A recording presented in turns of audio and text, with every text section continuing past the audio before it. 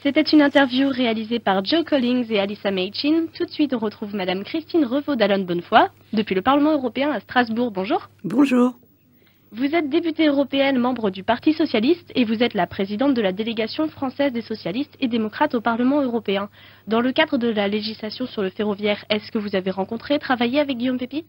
J'ai eu l'occasion, oui, de le rencontrer et également euh, ses équipes pour euh, préparer euh, le, les votes sur le paquet ferroviaire, c'est-à-dire cette ouverture à la concurrence de, l'ensemble des, opérateurs de train. comme j'ai rencontré aussi d'autres opérateurs européens parce qu'évidemment, il est intéressant de prendre le pouls auprès des différents opérateurs qui existent sur ce marché. Quelle était votre position sur l'ouverture de la concurrence et de la libération du marché national?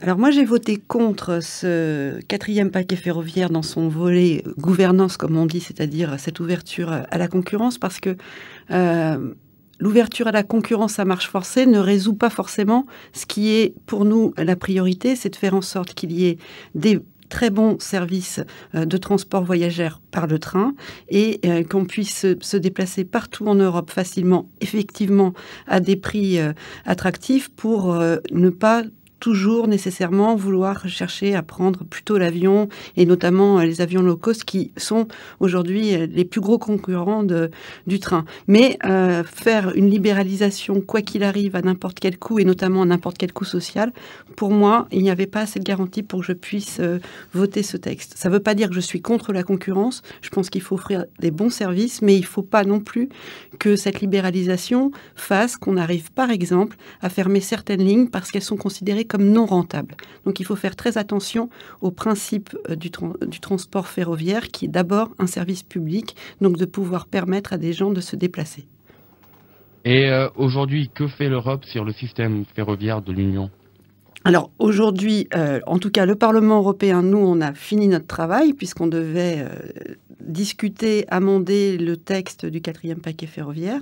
Maintenant, ce n'est plus au niveau européen d'agir, ce sont euh, aux États membres de faire appliquer, de transposer cette directive, donc cette loi européenne, dans leur législation nationale. Donc maintenant, la balle est dans le camp des États membres pour faire vivre ce texte et le, rendre le plus... Euh, efficace possible sans pour autant cacher, casser complètement, euh, euh, comme ça peut être le cas euh, des, services publics du ferroviaire.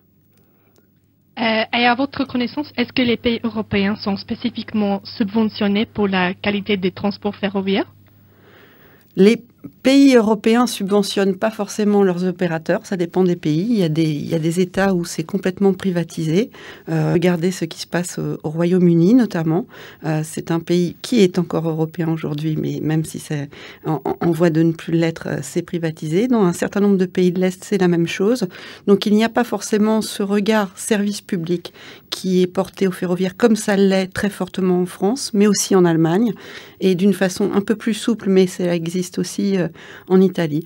Donc euh, c'est euh, la subvention qui est donnée, elle est très spécifique à l'histoire du ferroviaire dans, dans chaque pays. C'est quelque chose qui n'est pas encore harmonisé au niveau européen et je pense qu'il faut y travailler et regarder non pas forcément une prise de participation financière des États membres, mais plutôt vraiment à cette échelle européenne pour s'assurer qu'on puisse rendre le même service à tous les Européens.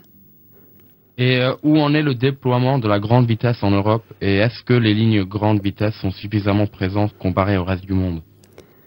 Il y a déjà un, bon déploiement des lignes à grande vitesse, mais ce qu'il faut vraiment, c'est qu'elles puissent être euh, homogènes et, comme on dit dans notre jargon technique, euh, interopérables, c'est-à-dire qu'elles puissent franchir les frontières d'un pays à un autre. Et ça, c'était le volet du pilier technique du paquet ferroviaire qui était très important, c'est faire en sorte qu'il y ait les mêmes systèmes de signalisation, qu'il y ait les mêmes tailles des rails, ou que les trains puissent passer d'un pays à un autre. Et pour pouvoir arriver avec un bon euh, système de lignes à grande vitesse à l'échelle européenne, il faut déjà qu'on parvienne à assurer cela. Et c'est l'objet du volet technique pour lequel là j'ai effectivement voté pour parce que c'est une grande avancée, mais on a encore beaucoup de, progrès à réaliser et surtout beaucoup d'investissements à faire pour euh, le mettre en place euh, jusqu'à terme.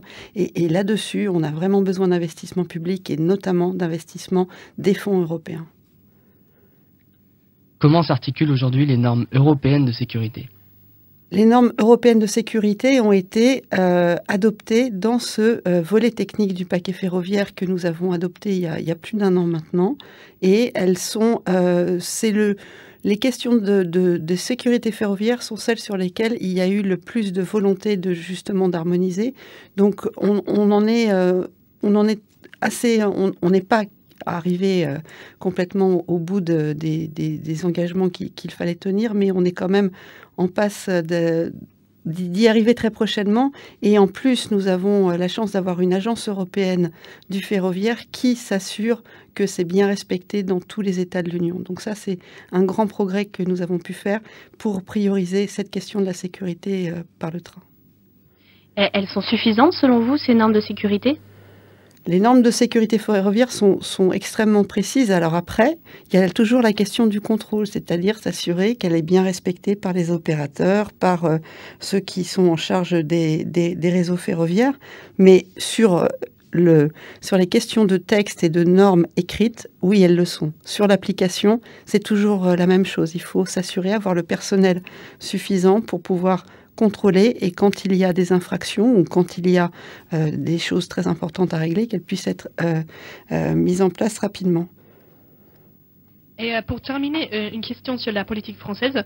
le groupe socialiste au Parlement soutient officiellement Benoît Hamon, mais quel est votre positionnement en tant qu'eurodéputé sur son programme européen?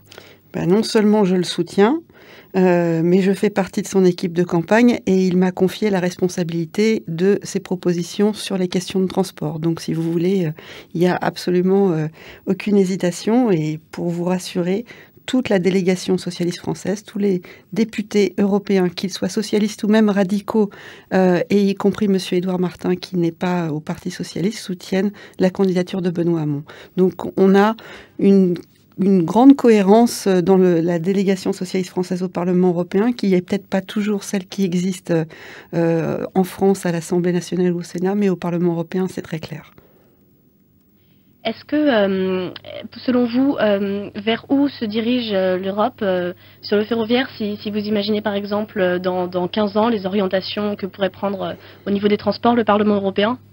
Là, comme je vous l'ai dit, on a, euh, terminé euh, notre rôle de législateur. On a euh, établi cette législation sur le paquet ferroviaire et je ne pense pas que nous allons remettre le travail sur le métier d'ici d'ici une dizaine d'années parce qu'il faut maintenant la mettre en application. Et puis surtout il faudra évaluer ce que cela signifie de libéraliser le, le marché ferroviaire, s'assurer que dans dix ans, on sera toujours dans l'objectif qui était euh, euh, la grande image de Jacques Delors, de faire en sorte qu'on puisse se déplacer de l'extrême sud de l'Union européenne à l'extrême nord, est-ouest, euh, par le train, en toute fluidité et en toute facilité et à des prix qui permettent à tout le monde de prendre le train, et y compris ceux qui ont, qui ont les revenus les plus modestes. Merci Madame Revaux d'Alain Bonnefoy d'avoir répondu à nos questions.